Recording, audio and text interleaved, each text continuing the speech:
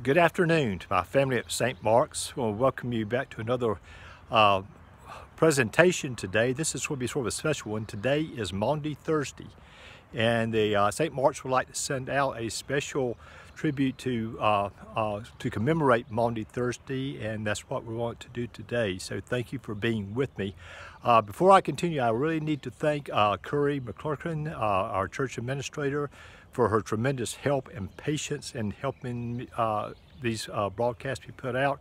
Also, the uh, Alex and Sarah Morris Brown for their work in this, and I appreciate your uh, all that you've done because I certainly don't know how to do this, and if I don't do a good job, I, again, I am sorry, but we'll do the best we can today, and and hopefully it does this.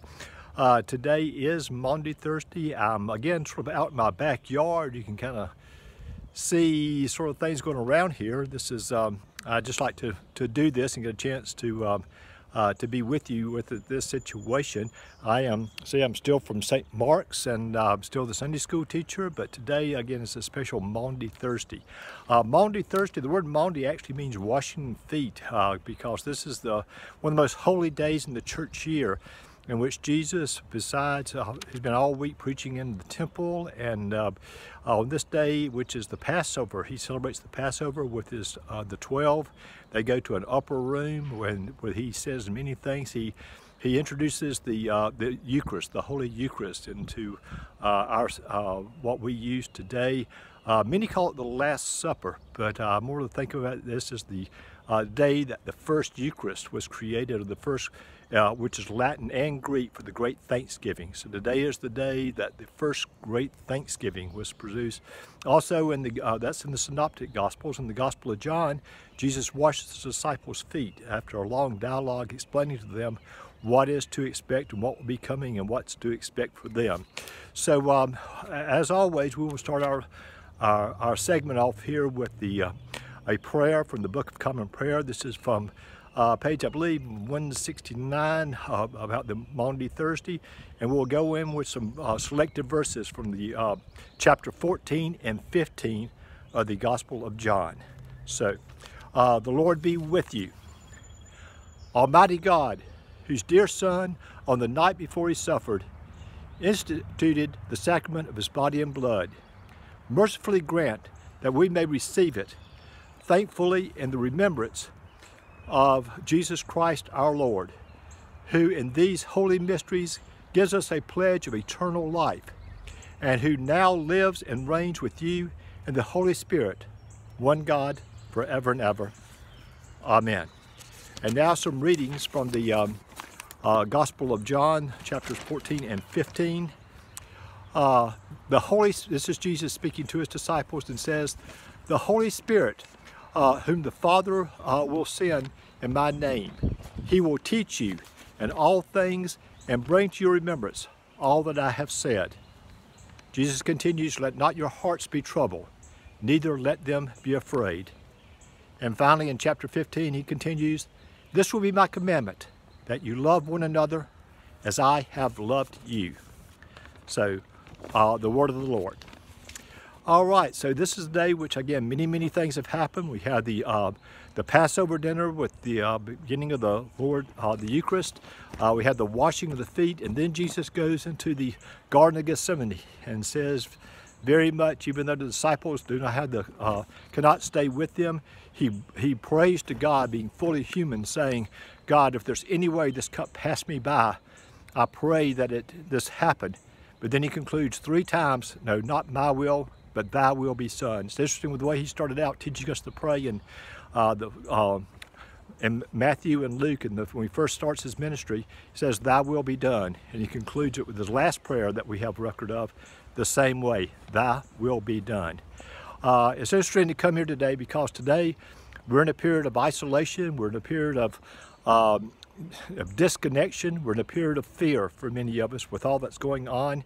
Uh, this is Holy Week. This is a time when all of us will be coming to church several times. We'll be getting together. We'll be looking forward to a, a wonderful and glorious Easter morning. And this is the time we'll be coming to church to, to hear a, a message, to uh, be with one another.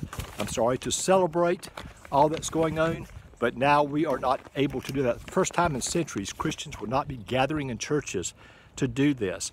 Um, we have not been uh, follow, uh, commemorating the Eucharist in our diocese since March the 10th. So it's almost like our 40 days, and we'll talk about that another time. This is it. But uh, Jesus says in these things, says, let not your heart be troubled, uh, nor let it be fearful.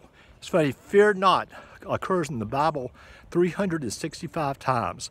Sometimes that's said by Jesus, sometimes it's said by God, sometimes by various angels. But 365 times we're instructed to fear not.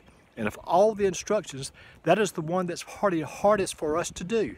And this, so we, you know, it's, it's very difficult, and, and this is the time that we're going through. It is very meant for us to fear and for what it is. But I'm reminded of a story, and this was told at St. Mark's by one of the uh, canons from the diocese a few years ago, telling us about our bishop, Rob Wright. Rob Wright, long before he became bishop, uh, had various jobs. He was uh, uh in the uh, uh, Episcopal Church.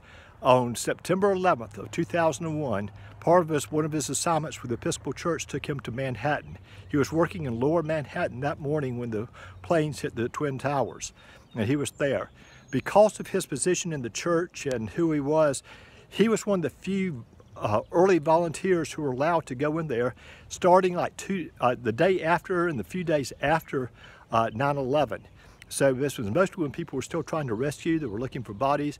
He among and some others were allowed to go in and they spent their time ironically distributing a respiratory mask to the first responders, but also clean socks and bottles of water. And this was it was going around there. And he describes this time of walking around lower Manhattan right after this happened as almost like being on the moon because everything was covered with gray dust. And except for the occasional sirens and equipment, uh, there were long periods of silence when they're trying to listen to see if there were, um, you know, people in the in the wreckage that they could, uh, you know, to try to rescue. So with all this eerie, probably the most solemn occasion uh, that you could imagine, all the sadness going on, it was it was monumental. It was almost uh, unbearable, all the solemnity. As he says, as he was doing his duties and going around, he walked around a corner and in the dust, somebody had written in big letters on a, on a wall that was, remained standing. And said, we still believe. We still believe. So today, as we face this time of not being able to be together at church, as we face the first Holy Week in, in centuries, we've been not been able to gather together and to celebrate Easter, I pray that we remember what Jesus said, fear not, and that using the, the faith that Jesus passes on to us and the gift of the Holy Spirit that he promised to send and did send to us to uh, sustain us, that on Easter morning, we, the family of St. Mark's and all, all people of the world, can get on our knees and look up to God and say, we still believe. May the Lord bless you and keep you. May the Lord make his face to shine upon you and be gracious unto you. May the Lord during this time give you, uh, may you feel God's love, God's presence, and feel God's peace. I pray that you are safe and healthy, and on, on Easter morning, you will be able to say, we still believe. Thank you.